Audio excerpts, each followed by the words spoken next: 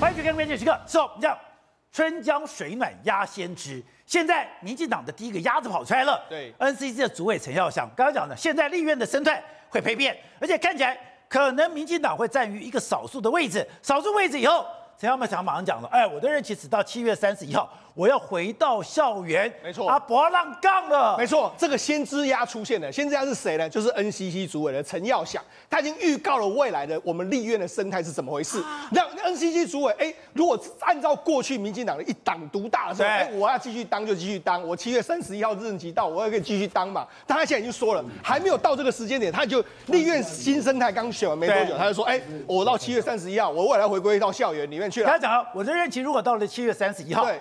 你是五月讲都早了，是你六月讲也可以啊。对你干嘛现在哎？对才一月，对你就要说你要走，了，而且是在什么？要选立法委员、立法院院长的前夕，他这样讲，表示他知道未来的生态会是什么样。未来的生态呢，立法院来说话，可能应该是说由蓝白来主导，那绿呢是处在一个少数的这一边。蓝白会主对导，，也就是六十四比五十一的这个局面来说的话，大概是没办法避免的一个状态。那是啊，连这今天的可是白还不在那边扭扭捏捏说，哎，我们要跟蓝合作，跟绿合作，还不一定吗？宝姐，那都是演假的啦，演假的那结果连连柯建明今天都说，未来的国会我们可能会非常非常辛苦。所以呢，这个陈耀祥这样说了，柯建明都这样说了，所以大概目前为止，这个这个你这个柯文哲一边扭扭捏捏甩那个甩太，哎，宝宝宝姐啊，蓝绿都已经看清楚你要怎么选择了嘛。所以说，哎，现在民众党还在那边游一两端，还在那边扭扭捏捏，你说那都是障眼法。是当然今天韩国瑜直接一个脸书跟你讲，好，我就接受你的四个这个承诺，而且我要进行国会改革。对北京是对你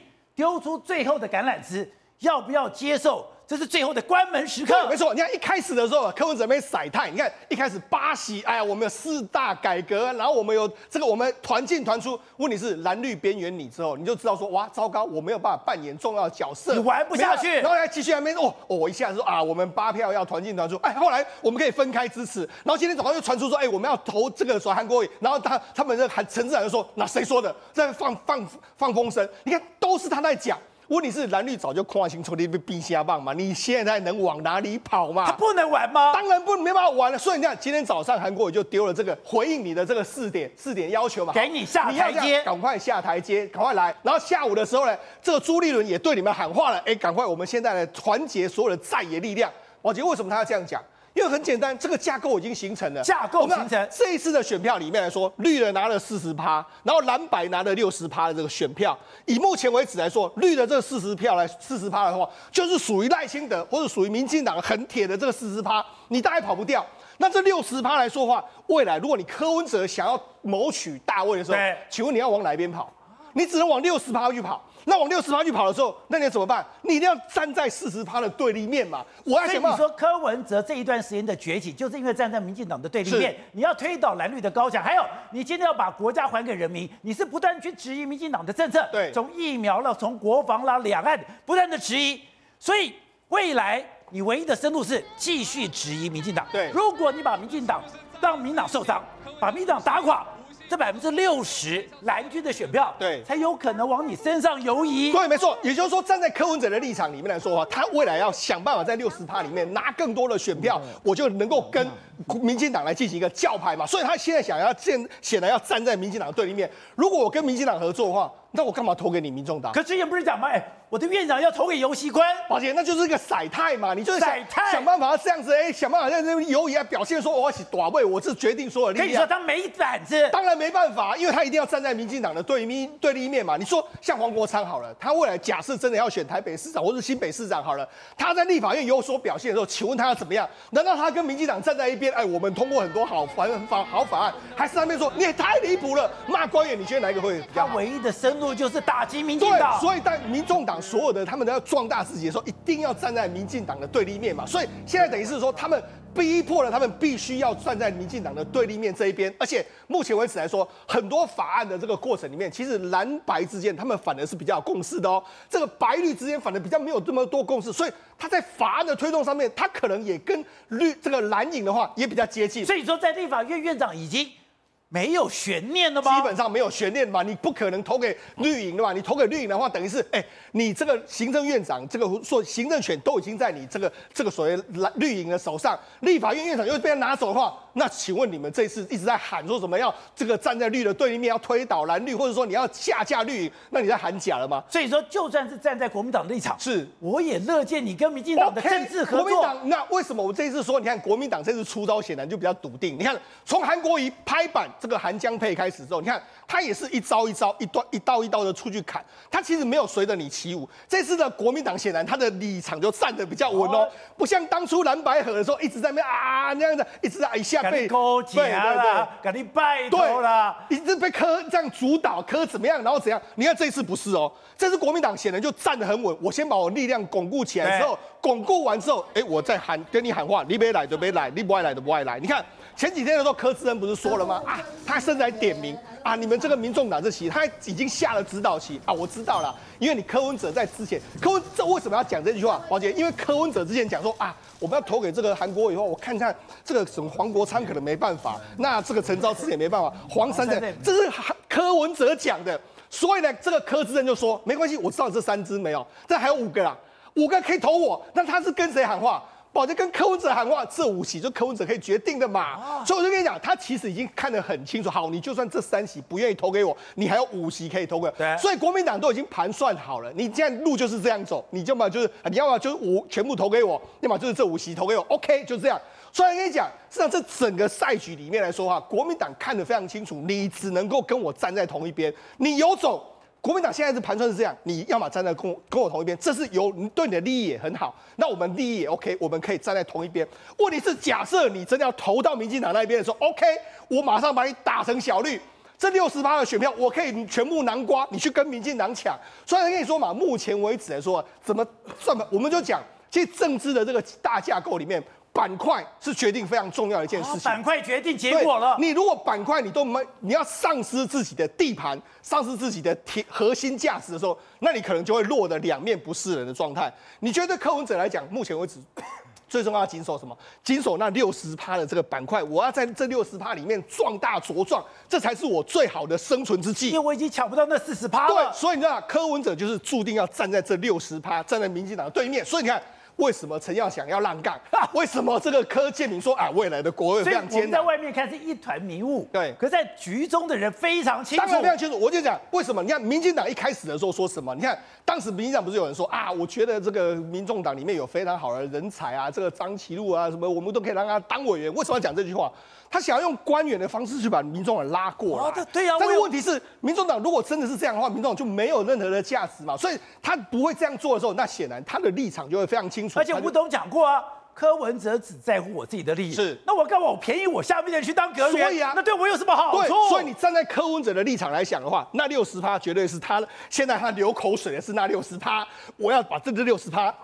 想办法换成是我最大的未来四年的选票，这才是他真正的核心利益。不是，我也欢迎他去投给游戏坤了。投给游戏坤以后，我们就比他说小绿、小绿、小绿。对啊，所以啊，我就说嘛，他也不喜欢当小绿嘛。那黄国昌也，他也不喜欢这个标签贴在身上嘛。虽然说，其实如果你把他们的专注的最最重要的核心利益揪出来的时候，他会做什么决定？其实我们都已经了然于胸了。不是，我本来以为说，哎，一个简单的立法院正副院长的选举，哎。现在搞得变成说，未来蓝绿整个政治板块的殊死战。当然，现在各位你看啊，为什么这个国民党完全处之泰然，跟过去总统选举期间完全不同？以前选总统的时候是国民党拜托再三勾讲说你民众来跟我和，为什么？因为那个时候是我需要你的选票。可是现在情况相反了。现在变的是什么？变的是国民党的五十四淡定的不动如山的坐在那边，只开了一扇小门，说看你民众党要不来。因为现在是民众党需要国民党的招牌跟颜色。为什么？因为现在的主流他们觉得国民党的招牌臭了吗？把现在主流什么？国民党代表一件事情嘛，蓝的不重要，重点是反绿嘛，是站在民进党的对立面嘛。所以民众党就问你一件事情。所以你说现在的政治生态不是蓝绿？是绿跟反绿，对，就只有两种颜色，一种就是你要成为民进党的模样，还是反对民进党的模样。现在这是国会在玩的游戏啊，而且是谁创造这样的格局，改变这样的格局？就是柯文哲啊！哎，对嘛，柯文哲嘛。那问题是韩国瑜在当中扮演了推动的一个重要角色嘛。他把这个局面变成这样，因为一开始不是这样，一开始为什么民众党可以这边卡关刷，然后以为自己是老大，说哎，你冷哎，看向背来哦，我可以决定啊，一切。讲我哎，哎，对嘛？但是为什么后来变成是如今这个处境，民众党左右不是人，投也不是，不投也不是，然后变成一张废票？因为国民党抓到这个核心利益，而老柯今天也闻到这个核心利益。老柯闻到了，哎，老柯今天发一篇脸书贴文的，我最喜欢看老柯贴文。你知道老柯最新贴文讲说什么吗？他说未来民进党在国会战场会很辛苦，而且这个很辛苦呢，情势会很紧绷呢，因为我们没有优惠优势席次，未来在院会各委员会可能都要动员，几乎每天都要打仗。每天都要打仗。对，而且委员会决议跟政府方向抵触，民进党的执政会很辛苦，未来立法院会是主战场。对，老柯这边宣告，等于是说未来民进党在立法院即将进入在野模式嘛，就如同过去我们在在野时期的一样啊，每天都要吵吵闹闹，每天都要斗殴，每天都要打仗，而且各个委员会可能会抵触，什么意思？你蓝白可能会尬在一起嘛。可是白先生不是讲吗？我可以跟我可以随时改变呐、我可以跟蓝的合作，我也可以跟绿的合作啊。对，但是最后他们现在面对到二零二六年最重要一件事情是什么？要选举啊，选票考量啊。今天我反问一件事情好了，黄珊珊她的核心利益，当然你说她可能会往民进党靠拢，她是小英女孩，但黄国昌呢？黄国昌的核心利益是什么？黄国昌的核心利益不就这几年来就是以打倒民进党、反对权威、反对执政、反对贪腐作为他的一个核心表率吗？对那请问黄国所以你说黄国昌跟民进党才有根本矛盾。啊，对嘛，所以黄国昌他的定调跟他的定位早就已经跟民进党分道扬镳，这个时候他怎么有办法去跟柯建明站在一起？这个时候他怎么有办法跟民进党站在一起？对他而言，他要拉大他的生存空间，最大的范围是什么？当然是我主打着反绿的大旗我去抢在这个第一线，我冲锋陷阵，我证明我比你国民党更能监督民进党。所以在这个状态跟趋势下，你看懂了吗？现在只有两种状况，一种就是我国民党跟民众党之间到底看谁比赛谁更能够代表这个监督执政党的力量。现在玩游戏是这个啊，这也是我们讲总统大选的时候，柯文哲不也是玩这一套吗？对那是因为大家你都被混淆了，被谁混淆？被黄珊珊混淆。黄珊珊一进入立法院之后，开始对民进党四出善意，四出好感。所以唯一的变数是黄珊珊，哎，对，各位你不要搞错哦。所以唯一有一两端的是黄珊珊。对，所以所以唯一想跟民进党讨好的是黄珊珊。对，宝宝莲跟我反问一件事情好了。今天我们讲哦，民众党这么多席立法委员，吴春成能够等于黄珊珊吗？不能。那、他也是一席耶。吴春成今天想做什么？我当然蓝蓝绿我都想跟你做生意，我怎么会想到这个选边站，对不对？再来林国成更不用讲，林国成以前是什么政党的？亲民党亲民党的，所以他女儿林真宇也是哎，他们两个对他来讲，在所谓的整个在选举期间，他们都骂民进党骂最凶的嘛。都是上这些各家媒体，然后批评执政党，批评最凶的嘛。张启凯也是啊，他今天会选择跟你说我跑去跟民进党混在一起吗？他还要去嘉义选举的人呢、那剩下两个，比如说你这个药师的也好，所以我就讲，跟民众党的根本利益，每个人八个人其实都大不相同。但只是因为现在喊王珊珊组长的这个所谓的民众党的基信、民众党的大旗，让你误会以为说好像存在有模糊空间，有跟民进党合作的空间。但对于这各个委员而言，未来不论是要提案，不论是包括像这个药师工会李义军，他要做什么，他势必得跟在野党合作。他才能打响他的招牌，所以韩国瑜就是精准掌握到这个点之后，先把自己的根基抓稳。这五十四席我确定，我确定稳定之后，我再来跟你在野党谈。因为你在野党未来得要思考一件事情，不管你是要提案，不管你是要曝光，不管你是要舞台，今天你碰上民进党之后，你只会有一种下场，就你变小绿啊。被吸星大法吸光，了你。会被他吸收吐纳掉了嘛？但你跟国民党不一样哦，你跟国民党这边这个舞台是，你还有表现的空间，你还有竞争的空间，你还有竞逐空间，所以现在玩的叫做亦竞亦合嘛。我们之间可以竞争，可以合作，所以对于黄珊珊而言，反而是我觉得接下来真正看的看点是什么？他跟黄国昌之间的关系，因为黄国昌很显而易见的打绿是他唯一的生存法则，而黄珊珊的法则则是我要跟绿合，所以你讲这两咖现在凑在一起，所以说，其实每个政治人的手上的牌都非常的有限。现在未来蓝白能不能合不知道，但是白站在绿的反对面是已经确定了。对，因为这是选票跟民意上的考量，你不能背弃你原本的根基跟基础嘛。所以你这时候再回头回过头来看柯志恩的话，你终于听懂了柯志恩这句话跟这五个人讲，当然这五个人听了心有戚戚焉。对啊，我们今天进来是因为柯文哲进来，但现在却要我们听黄珊珊的，这合理吗？这势必会产生权益上的转移的困难跟他的动荡嘛。再来第二件事情，当这五个人很有可能为了自己的理念，我今天想要提这个要事法，我今天想要提这个新著名的法案，张启凯想说不对啊，我跟着你骂媒体干嘛？我是媒体出身的，他们会自然而然会怎么样？会越来越往国民党这边去靠拢。当国民党递出这个诱饵的时候，自然会去靠近。所以各位，未来整个立法院的主战场会在哪里？当然是非绿跟绿营的战争嘛。好，董事长。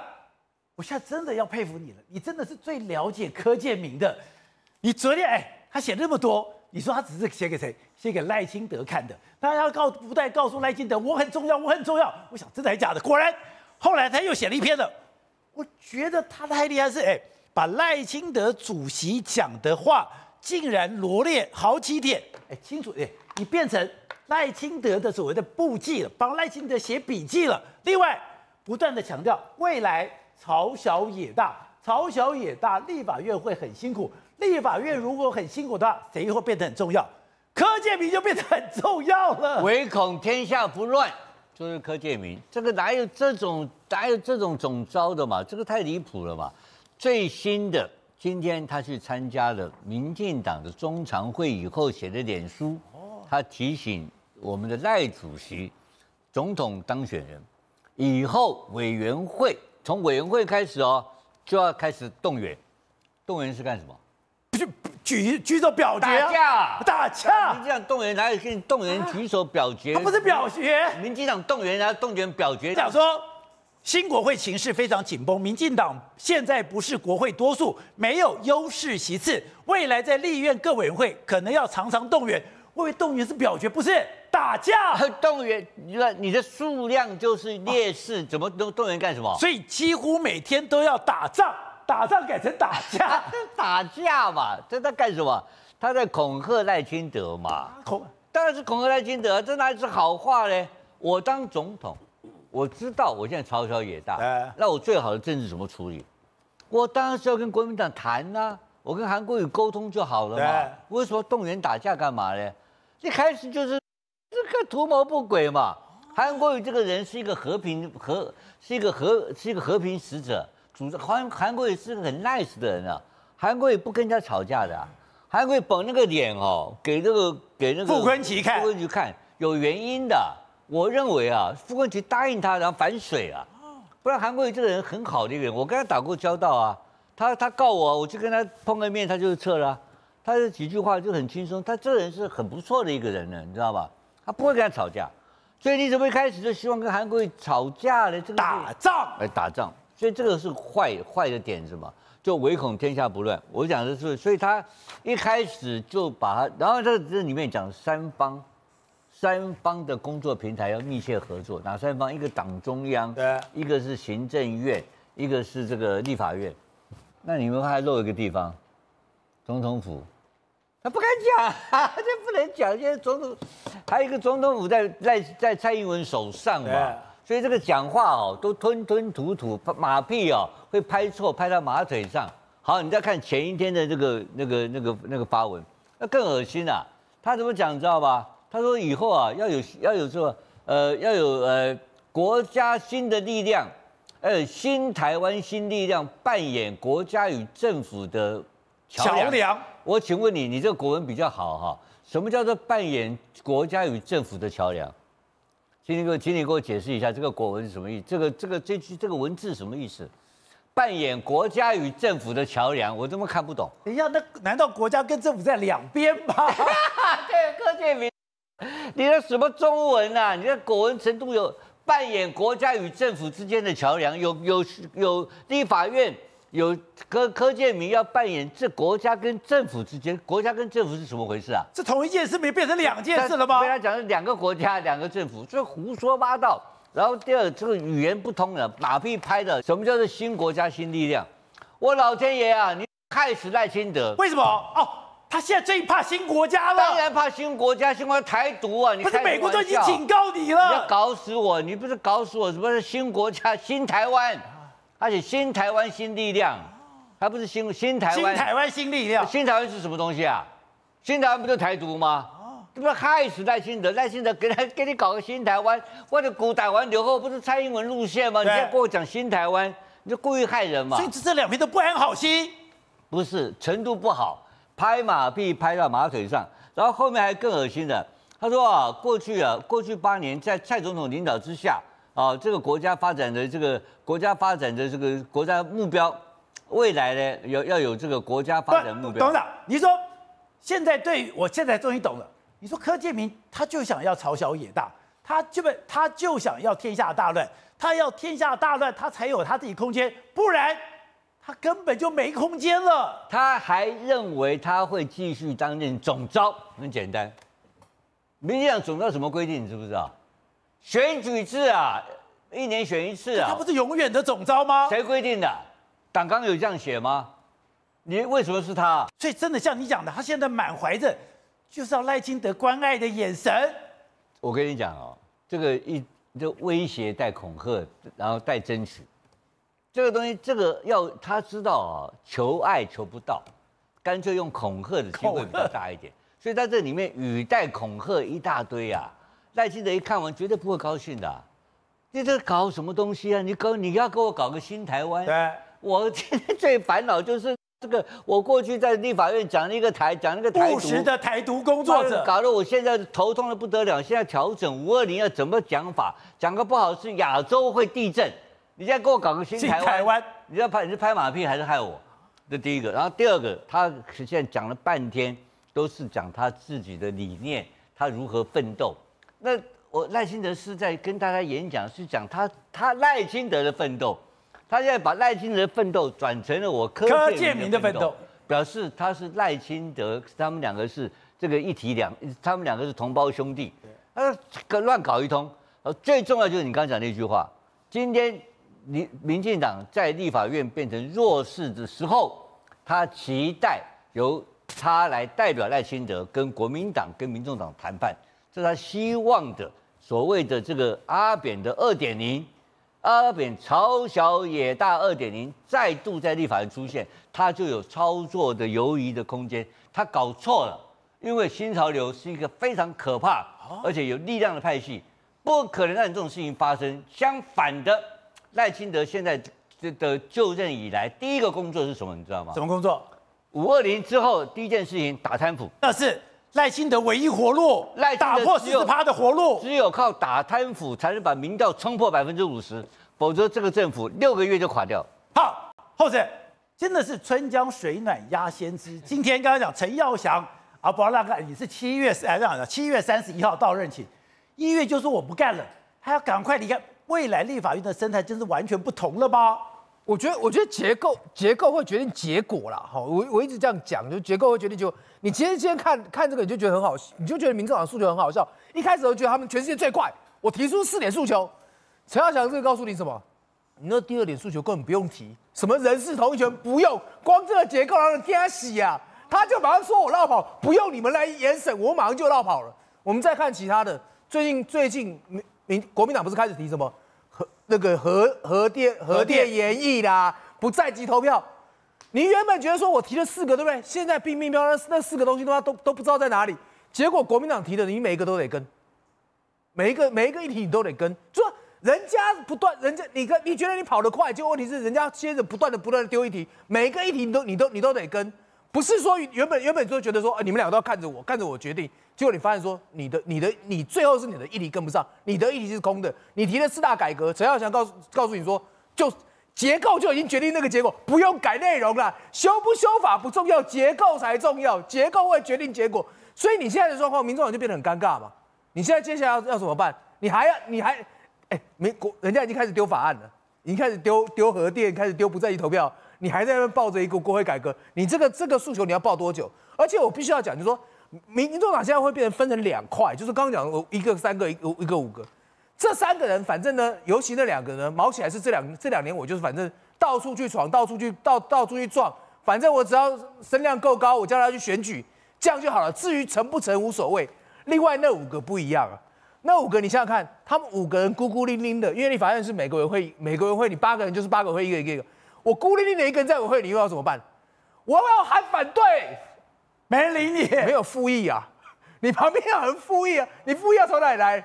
你当然是正常的状况，你是要找国民党啊，你会找民进党说，哎，你别人来帮我复一下，反对你自己吗？不会嘛，一定是找国民党来反对。所以你说你为什么会说刚刚讲说开记者会现在只剩下三个人，其他那五个为什么为什么不见了？我将来以后要跟国民党的立委相处，没有没有他们在，我如果跟他们闹翻了，我将来什么都没有啊啊！所以我我不可能的根本利益是有矛盾的。那我我做一个立委做了来，就算真的只有两年好了，我总希望留点什么预算能够删法案能够审吧，对不对？你如果说我跟跟国民党闹掰了，我刚刚就讲了，你到你到委员会去，院没有院会你可以用用用，你可以用用党团提案没有错，但是你到委员会去，你有你有什么东西？你什么都没有。所以你现在看到的那些人为什么就闪得远远的？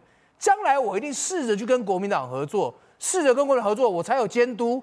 我我总不能去帮着民进党护航吧，对不对？不可能嘛！我觉得我才有监督。所以你说你也同意这个根本的架构是民众党只能站在民进党的对立面？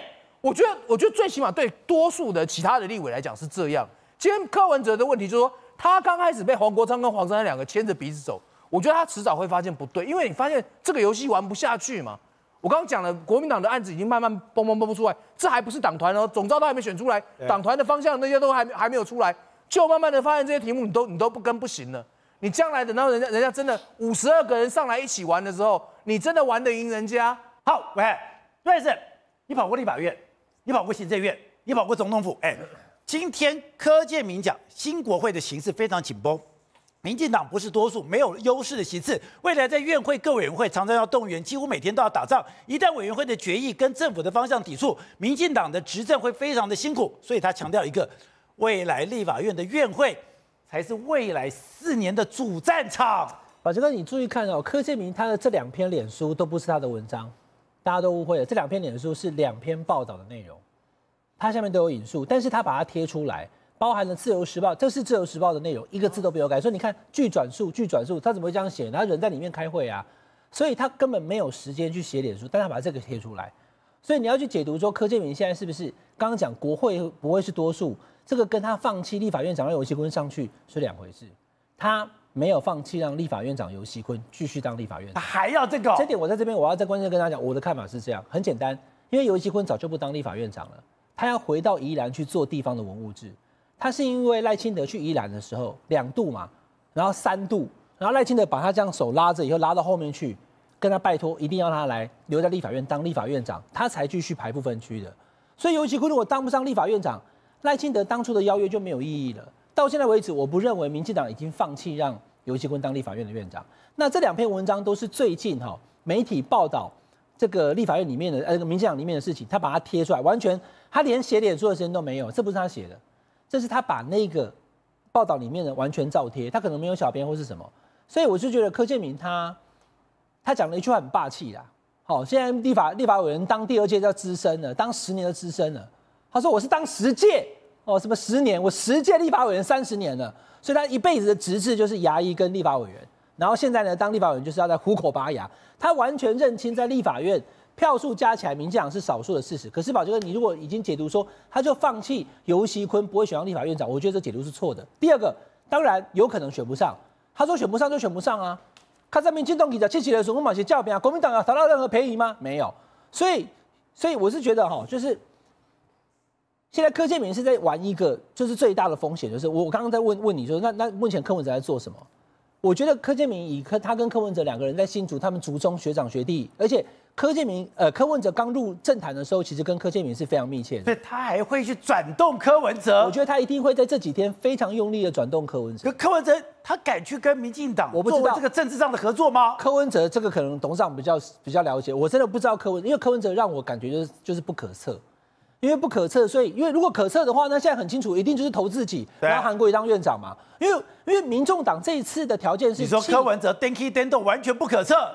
他怎么想？他可能觉得那样做比较好。我而且我现在投给游锡坤，不代表我以后不能骂那个民进党的行政院长啊。他可能是这样想的啊。所以我我觉得他的。他的脑袋跟我们长不一样。宝杰哥，你要知道，韩国瑜早上他写的这个脸书就是在呼应，因为他已经党内搞，先先安内再攘外，对不对？所以他党内的傅昆萁这这一出处理完了以后，今天开始对民众党喊话了嘛？你不是一直讲说，对于四大改革有呼吁的人，你们才会投吗？那现在尤其坤有没有？没有嘛？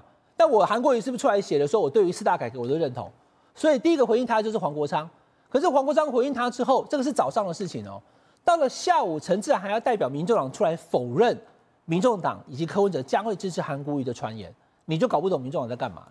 就是以这样的状况来看的话，我觉得后面的变数还很多。简单讲了哈，柯建铭已经做好，民进党选不上立法院长，但是他会继续当总召，他会继续在这个怎么讲，就是跟国民党在对抗的路上继续走。他今天也开了一个 thread，今天还开的，他说总召什么意思？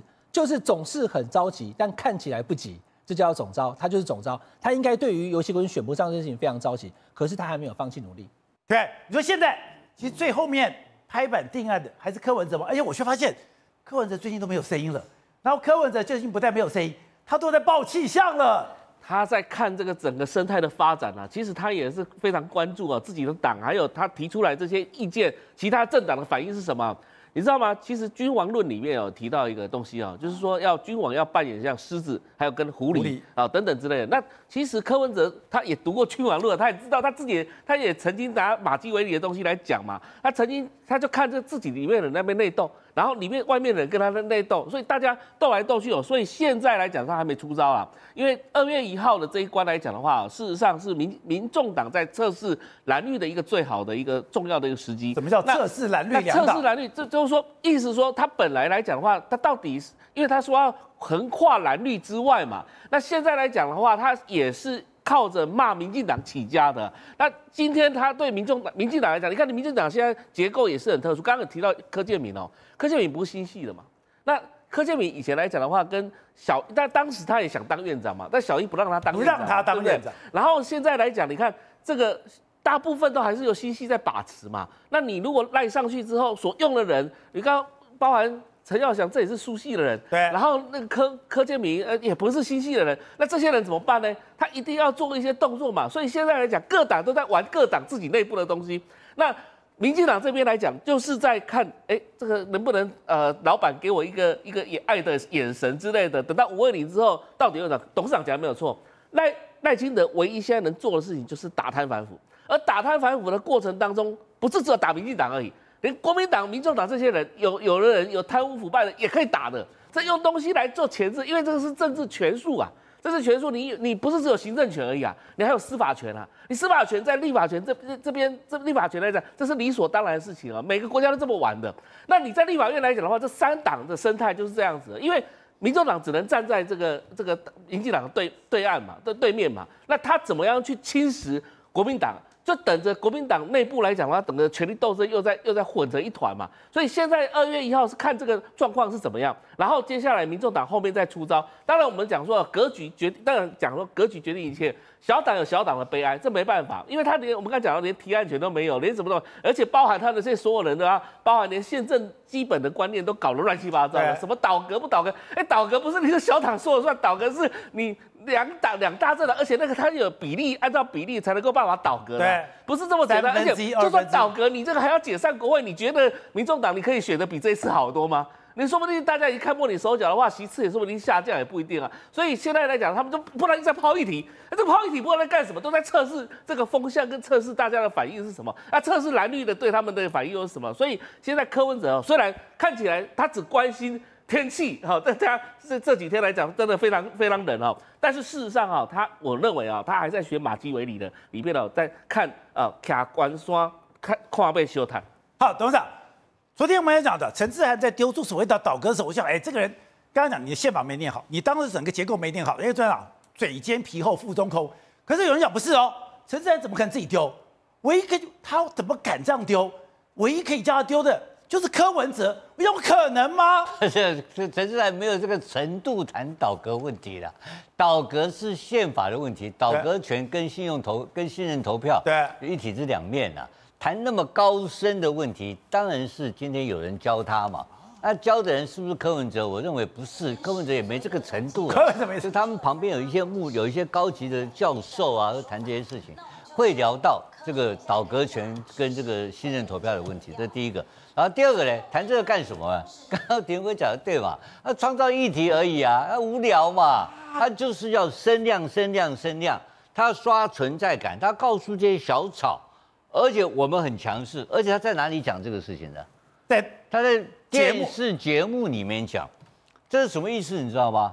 这是陈志涵跟黄珊珊之间的矛盾跟斗争嘛？你在立法院开记者会，那我小姐姐老娘也开我的记者会，两边在比别苗头、比风头嘛，这个根本内部的斗争而已啊。那这种事情会不会停？不会停，代表什么意思？